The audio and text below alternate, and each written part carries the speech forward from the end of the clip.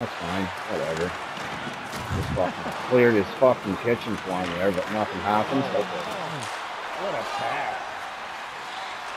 Oh no, what a pass indeed!